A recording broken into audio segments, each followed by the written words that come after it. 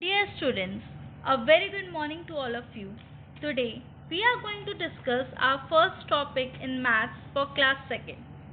But before discussing our topic, I would like to have a quick revision of your first chapter that is revision.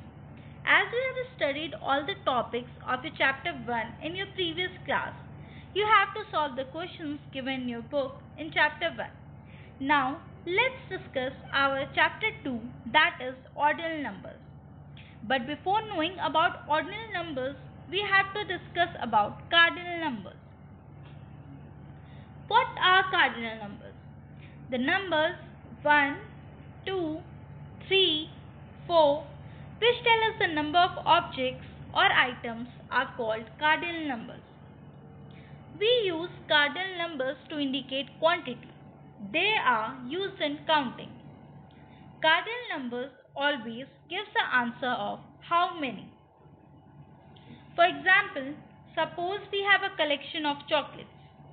If we ask a child the number of chocolates that he has, we are asking the child to represent the quantity of chocolates he has using a number. We may count these chocolates by labeling them as 1, 2, 3, 4, 5, 6, 7, 8. Our counting ends at 8. So there are 8 chocolates in the collection.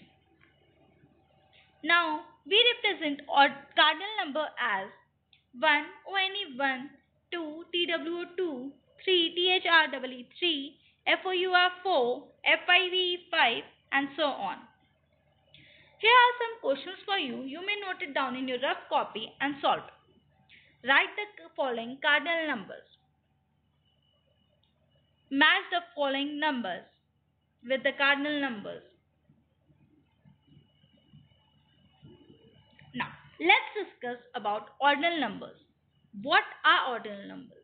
The numbers such as first, second, third, which tell us the position of an object are called ordinal numbers.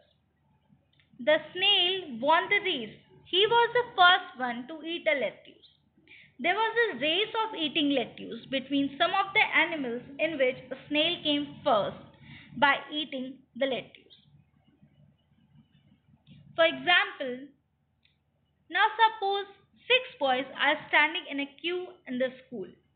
We say that Ravi is the first boy in the queue, Samuel is the second, Rajat is the third, Baljit is the fourth, Irfan is the fifth, Vikas is the sixth in the queue.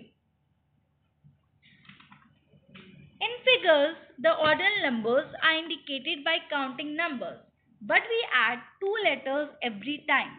The first, second and third are shown by adding the letters ST, ND and RD. Almost other numbers are shown by adding the letters TH.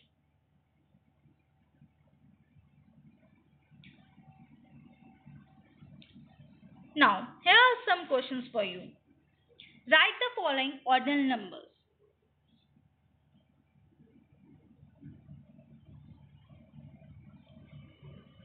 Find and color 4. If the cat is the first animal, which animal is third? Which what place is the frog in?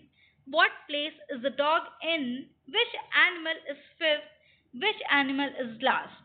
Color the fourth animal yellow, color the first animal orange, color the sixth animal green, color the second animal brown, color the fifth animal grey, color the third animal red. Thank you students. Hope to meet you soon.